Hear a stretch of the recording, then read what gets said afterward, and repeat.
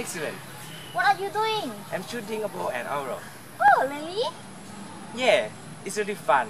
What are you gonna do tomorrow? I'm gonna watch a movie. Do you want to come? Sounds good. Good.